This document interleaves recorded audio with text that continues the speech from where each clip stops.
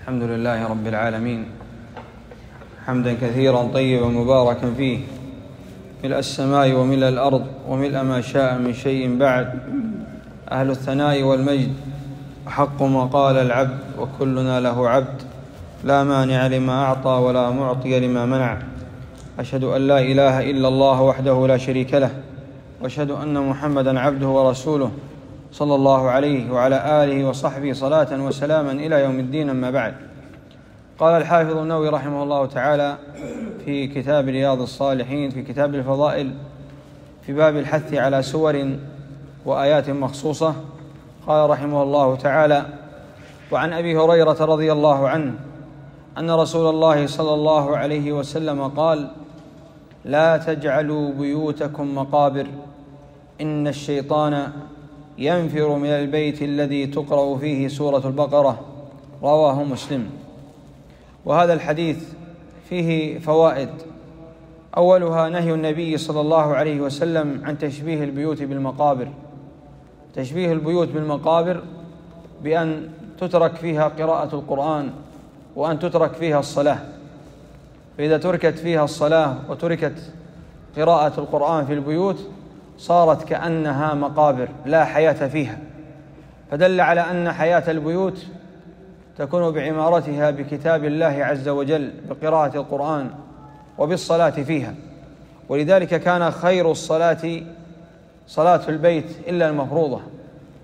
وذلك من أجل عمارة البيت بذكر الله وبالصلاة وبقراءة القرآن. وإذا كانت البيوت خالية من كتاب الله سبحانه وتعالى من قراءته ومن الصلاة فيها فإن الشياطين تستولي على أهلها. فلذلك يستحب للمرء أن يجعل له من صلاته في بيته فإن ذلك خيرا له. ويجعل من قراءته للقرآن في بيته فإن ذلك خيرا له. وخصوصا قراءة سورة البقرة فإن سورة البقرة تطرد تطرد الشياطين وينفر منها الشيطان. فلذلك ينبغي للمسلم أن يكثر من قراءة هذه السورة في البيت. وإذا كان المسلم يختم القرآن دائما ومتكررا فإنه سيقرأ هذه السورة في بيته ولا بد.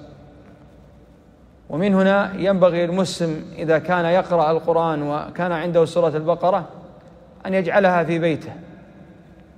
حتى يتحقق فيه هذا الحديث لأن النبي صلى الله عليه وسلم قال فإن الشيطان ينفر من البيت الذي تقرأ فيه تقرأ فيه سورة البقرة. وهنا قال تقرأ. والمراد بالقراءة القراءة الشخصية أن يقرأ الإنسان القرآن. لا كما يفعله اليوم كثير من الناس يعني يشغل المذياع على سورة البقرة ويجعل المذياع يشتغل في البيت على سورة البقرة ويظن أن هذا هو المقصود. لا المقصود قراءتك أنت سورة البقرة. قراءتك أنت وأهل البيت لسورة البقرة في البيت. وليس تشغيل المذياع. فالمذياع ناقل ليس له نية وليس له قصد وليس فعله هو عبادة. ولكن فعلك أنت عبادة وطاعة. لأنك نية لك قصد. تؤجر على قراءتك. نعم تؤجر على السماع.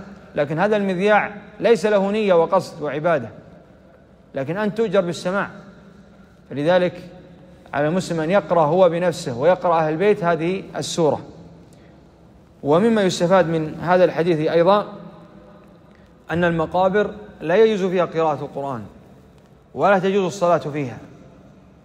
لأن النبي صلى الله عليه وسلم قال في هذا الحديث لا تجعلوا بيوتكم مقابر. إن الشيطان ينفر من البيت الذي تقرأ في سورة البقرة. فدل على أن المقابر لا تقرأ فيها. لأننا لو لم نقرأ القرآن في البيت لكانت كالمقبرة. فدل على أن المقبرة لا يقرأ فيها. فقراءة القرآن في المقابر بدعة. وكذلك الصلاة فيها أشد. ولذلك الصلاة في المقبرة لا تصح أبدا. ولذلك جاء في الحديث عن النبي صلى الله عليه وسلم الأرض طهور إلا المقبرة والحمام إلى المقبرة والحمام. وقال النبي صلى الله عليه وسلم لا تصلوا إلى القبور. فالصلاة في المقابر لا تصح هذا أولا وثانيا هي وسيلة إلى الشرك بالله سبحانه وتعالى. ولذلك يجب قطع جميع الوسائل التي توصل إلى هذا الأمر.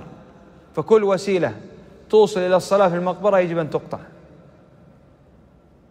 لأن الصلاة فيها وسيلة إلى أعظم منها وهي وهي الوقوع في الشرك بالله سبحانه وتعالى وعبادة هذه القبور من دون الله. فالعقول حاليا قد لا تستوعب هذا أن قد يقع الشرك بسبب هذا لكن هذا على المدى البعيد. فالشيطان لا يأتي إلى الناس مباشرة يقول اعبدوا القبور مباشرة وإنما يزين ويزين ويزين ويفعل خطوات حتى يوقع الناس في الدركات. فلذلك يجب قطع جميع ما يوصل إلى هذه آه، إلى إلى هذا الأمر وهو الصلاة في المقابر ومنها وضع المظلات في المقابر. وضع المظلات في المقابر كما تفعل الآن في بعض المقابر كل هذا لا يجوز لأنها وسيلة إلى أن تصلى فيها. ولذلك صدرت فتاوى من اللجنة الدائمة للإفتاء بعدم جواز وضع هذه والأمر بإزالتها. فلا يجوز وضع هذه المظلات في المقابر لأنها وسيلة إلى أن تصلى فيها وقد وقع هذا. مثلا المقبرة التي هنا عندنا رؤية فيها أناس يصلون الصلوات يصلون في هذه المظلات التي كانت داخل المقبرة. جهلا منهم فوضعت الوسيلة إلى هذا الأمر فتحقق الأمر. وإذا بقي الأمر على مكان زاد الأمر عن هذا الحد حتى يقع الناس في الشرك وهم وهم لا يشعرون. فهنا النبي صلى الله عليه وسلم قال لا تجعلوا بيوتكم مقابر. إن الشيطان ينفر من البيت التي تقرأ في سورة البقرة فدل على أن المقابر لا يصلى فيها ولا يقرأ فيها القرآن وكل ذلك من البدع. فأمرنا أن نجعل البيوت تختلف عن المقابر فنصلي فيها ونقرأ فيها القرآن خاصة سورة البقرة. وقد مر علينا أيضا حديث النبي صلى الله عليه وسلم آه، اقرأوا البقرة فإنها فإن أخذها بركة. ولا يستطيعها البطلة. والبطلة قيل هم الشياطين وقيل هم السحرة. وهو آه، يشمل الاثنين. فالسحر والشياطين كلهم شياطين. شياطين إنس وشياطين جن.